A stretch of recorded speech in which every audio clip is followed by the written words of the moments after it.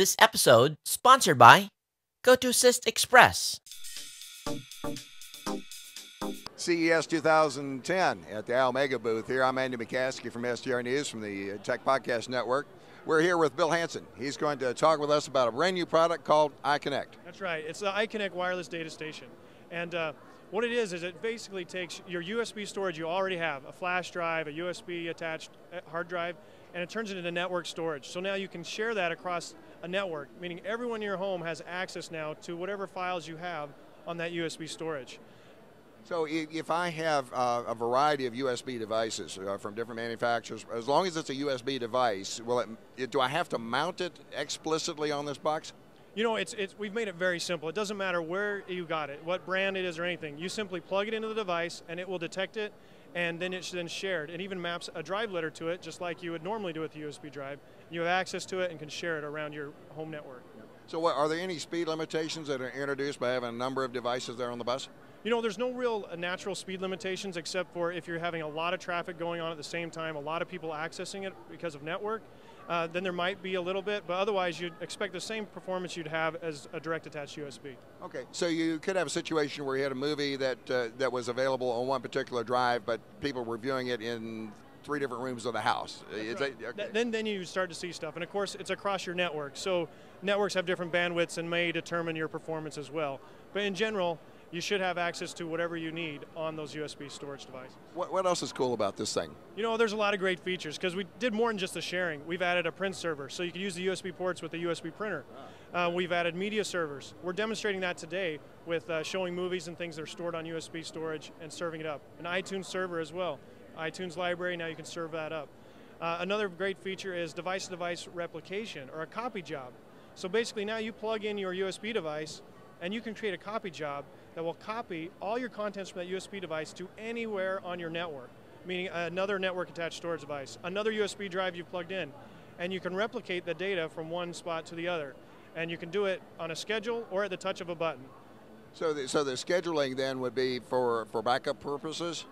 Primarily it's designed for backup, but you could utilize it for syncing two USB drives, you could use it for any combination of things that you'd like to do. And it, you can go to or from the device, it, it, doesn't matter. You set it up, and then it's it's running for you. Okay. Does this play well with iTunes as far as having multiple devices authorized and so forth? You know, uh, iTunes has different limitations on what you can do because of uh, authorization and their and their management. Uh, thank you. And uh, so we serve up the content. We leave it up to you in iTunes really because it manages how many clients can utilize it as it shows up as a shared uh, storage device and not necessarily in your library automatically. So it's up to you how you want to configure that. What's the price point? The price point's $99 for US. Okay, and where would people find to be able to find these units? You know, uh, primarily you'll find them at iOmega Direct, iomega.com, and other online locations like your Amazon, your Newegg, those type of locations, and also in retail. You'll find them Fry's, you know, Costco, different places like that as well. Okay, so Bill, the, the, the main address then is uh, simply iomega.com, right? That's right. Go to iomega.com. You'll find a lot more information there. Okay, thanks very much. Have a good show. All right, thanks so much be easier with GoToAssist Express, an easy and secure remote support solution purpose built for individuals, small businesses, and professionals who need to support clients. With a click of your mouse, start a support session. Your client simply enters the code you give them on the fastsupport.com website.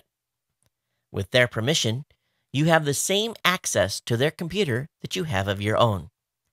You can examine programs, check and modify control panel settings, GoToAssist Express gives you full access to their desktop.